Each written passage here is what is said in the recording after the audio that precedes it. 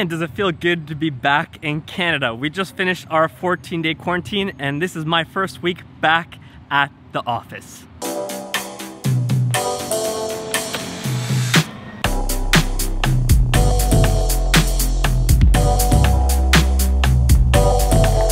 There's one thing I forgot after these eight weeks is just how tiring these stairs are. It always gets you out of breath.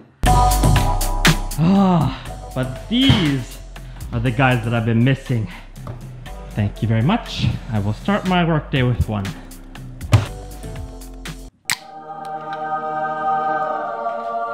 That's right.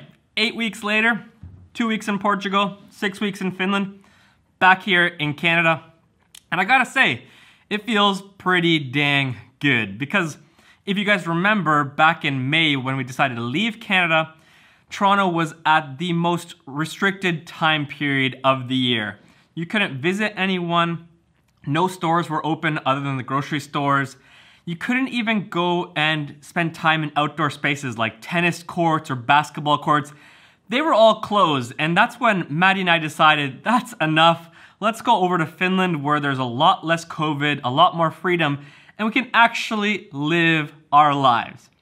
But now, eight weeks later, coming back to Toronto, we came probably at the best time possible because now COVID cases are very low, meaning there are almost no restrictions here in Toronto. Restaurants are open again, stores are open, you can have actually people in your own home, which is awesome because Veera and I, my wife, we're really excited to finally be able to actually experience and enjoy living here in Toronto. But enough talking about COVID. Today I actually want to talk about with you guys about this camera, the Canon R5, and specifically things I wish I would have known about this camera before buying it.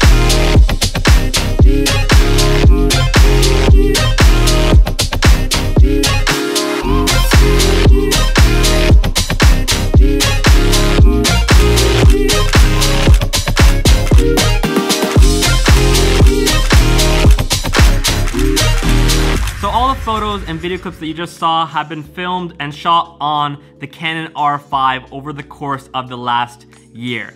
And I thought that I would share my experiences with the camera and things that I wish I would have known before I bought the Canon R5. But before we jump into those things, I think we need to clear the air out and talk about the elephant in the room, and that's overheating. We all remember a year ago when the Canon R5 was released, it was like night and day. When it first was released, everyone was so pumped about this camera. Everyone was saying that Canon's gonna kill the camera game. And then all of a sudden, in the matter of a day, everyone was making videos and talking about the Canon R5 and overheating and how this camera is just not gonna be usable. And if you ask me, I think it was a little bit dramatic, a little bit overhyped because in my experience of using the Canon R5, in the whole year, it's never overheated.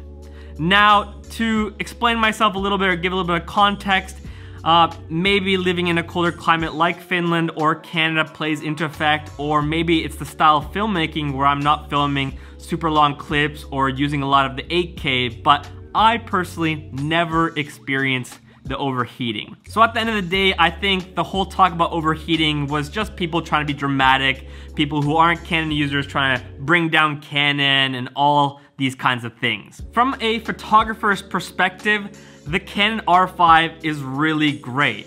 One feature that I really love is that they brought back the joystick so you can just move around the focus points, which for me is game changing because when I'm shooting, for example, weddings and I need to be really run and gun fast, I love being able to just scroll with the joystick and to get the right focus point when shooting portraits or moving shots, lifestyle photos.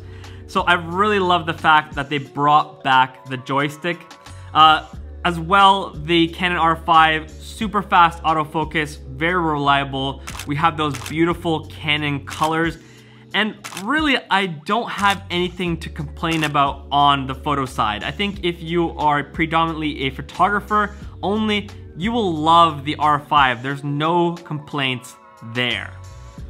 From the video perspective, things that I've really enjoyed with this camera, I really enjoy the autofocus as well. It's very reliable. When I'm vlogging, I can know that it's tracking my eye and everything is gonna be in focus. As well as a YouTuber, the flip LCD screen. It's one of those must-have, and I love the quality of the Canon's LCD screens. Everything that you film, all the photos that you take just look so good on the screen, and the fact that it flips and goes to the side, it's not gonna interfere with the mic or anything like that. Something that many people might not think is that, you know, special, but it's something that I don't take for granted, especially uh, when I try other cameras that don't have it, I realize how big of a problem this is. On top of that, I love the Canon colors. We got the new C-Log, which gives you really great colors and really high dynamic range with the footage. And lastly, I love the smooth, buttery slow motion. We got 4K 120 frames per second, which is something that is just always so epic and I can never get tired of that footage. Now, for this portion of the video, I'm gonna sit down because there are things that I wish I would have known about the Canon R5 before buying it. And I want to tell you guys my honest opinion because I know a lot of you guys watch this channel to learn more about camera gear, to get my perspective on the gear, and I don't want to lie to you. I want to tell you the honest opinion of things that I wish I would have known about the Canon R5 because it was an expensive camera. It was a big investment.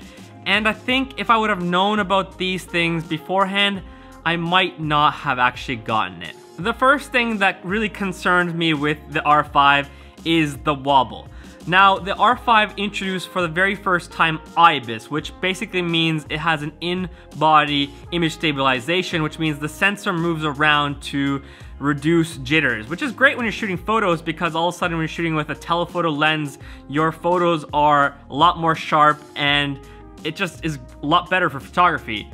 But on the video side, when you're shooting with a very wide angle lens, for example, the vlogging lens that I'm always using, the Canon 15 to 35 RF lens, when you're filming at 15 millimeters, you're gonna start getting this weird corner wobble, which I'll add a few clips just to show you what I'm talking about, but it's this very jarring, distracting wobble that almost makes the footage unusable. And to make things worse, you would maybe just think, oh, just turn off the IBIS while you're vlogging or filming those kind of shots. Well, it's actually very complicated and hard to do that. Um, if you're using lenses like the Canon R5, you can just turn off the image stabilization, which will turn off the IBIS, but if you're using lenses that doesn't have uh, image stabilization, you can't turn off the IBIS. And it just makes everything really complicated. I wish they would have figured out how to have IBIS and still use the RF lenses that you're allowed to use with that camera. So the wobble, it's really a, a huge downside because they really marketed and talked up the IBIS, but then it proved to be very wobbly in comparison to cameras like the Sony cameras that are right now where there is very little or no uh, IBIS wobble at all. So that's the first thing that I wish I would have known about the Canon R5 before buying it. The second thing I wish I would have known was just how big the file sizes are and how uh, intensive it was gonna be to edit with this camera and the files coming out of it especially when using Premiere. When I first got the Canon R5, I tried um, editing with my Mac Pro 15 inch. Eh, you know, it's a great laptop, and I was trying to edit on Premiere the R5 footage, and it was just so sticky, so slow, it was, it was unusable. To the point where I had to start going down the route of making proxies, which just made everything a lot more complicated and long and cumbersome, and I didn't like that workflow process at all. Now switching over to Final Cut Pro, it has helped a little bit, but still the files are very large and very hard to edit in comparison with, for example, Sony cameras, which I'm using whenever I'm shooting for my brother Matti. So that's the second thing I wish I would have known about the R5, that the files are gonna be ridiculously hard to edit and work with. And the last thing that I wish I would have known about the camera is the fact that it has a lot of features that cost a lot in the end, which I don't even use. I remember when the R5 came out, they were talking about 8K and you've got the 4K HQ, but as a YouTube content creator, as uh, you know, a, a, person who's creating more travel films and and working for clients where I don't need 8K, the 8K just seems a bit overkill.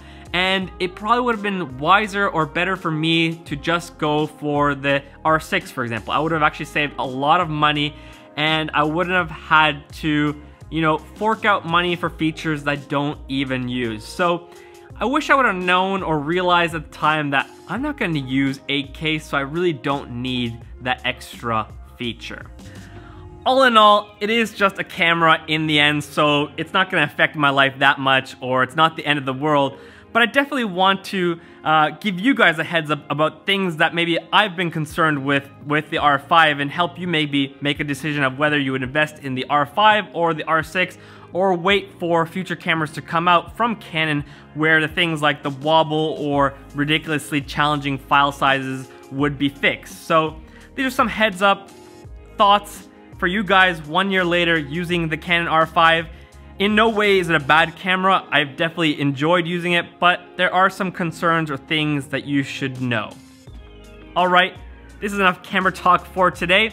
Hopefully you guys enjoyed this video, hopefully this helped you guys out. If you're new to the channel, make sure you hit that subscribe button, and um, gotta go back to editing. It's time to continue my workday for Matti. Oh yeah, if you haven't been noticing, we've actually been pumping out a lot of videos again now that we're back from our trip, so make sure you jump over to his channel as well and check out the videos because I'm also part of those videos quite a lot. So if you're enjoying this content, hop over there and get double dipping.